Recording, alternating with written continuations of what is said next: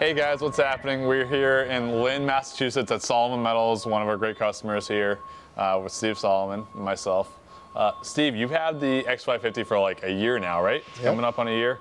What are your thoughts on it so far? No, it's been great. I mean, we handle all non-ferrous here, from aluminum to copper to brasses to stainless and alloys, and you know, works across the board for everything. Gotcha. And you guys do a lot of uh, turnings, machine turnings, and stuff like that. And Yep, yep. Turning solids, powders. You know, we, you find a way to you know use it for whatever you need.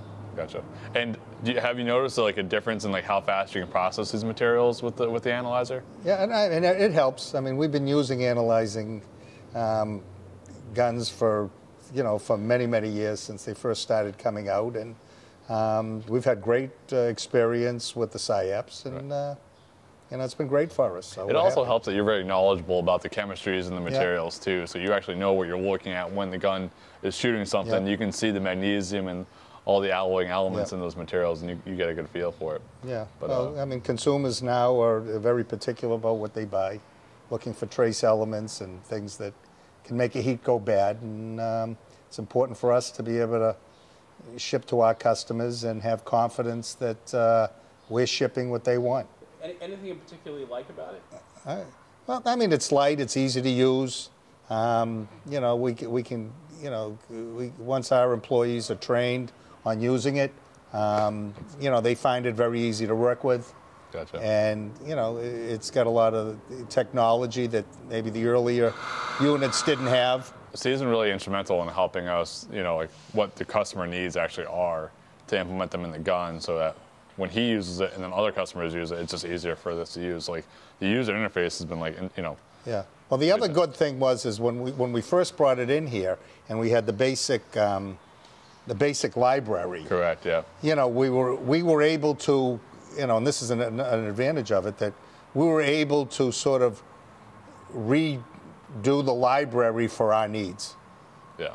That was, because there were certain things in there that, you know, generic terms that didn't mean anything. So I think we worked together, you know, with uh, with your IT people in order to, you know, drill down into the. Uh, nitty gritty and get you that know, library. the things that are that you know what a scrapyard needs um, is quite different than sometimes what a consumer needs Correct, right. because uh, you know what we're handling is a bit more generic, but we have to go from that to uh, to being able to uh, you know provide the consumer you know the, you know uh, composition of alloys that, that meet their needs. We treat it we treated it as a everyday tool. Yeah, you're using this thing every single We are day, using right? we- we use it all the time because of the range of alloys. So when they were first bought, you know, most most scrap yards know how to identify copper and brass and the basics.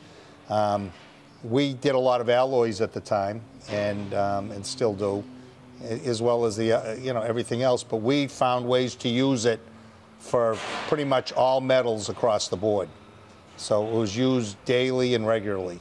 But we're constantly, we use it as a, um, as a quality control tool when we're shipping material to make sure that what we are, even what, that we already believe what it is, we use it to check it as it goes on a, before it goes on a truck. Yeah, no, I mean, that helps. I mean, with the higher aluminum prices now in particularly, it's more helpful because you know, the, the differentiation between secondary grades and primary grades has widened out. So being able to, um, to know what, exactly what alloy you have right now, um, you know, is, uh, is really advantageous in getting your full value for your material. So instead of like shipping it as MLC or, or clip or something like that, you're sorting out 60, 61, 60, 63. Yeah.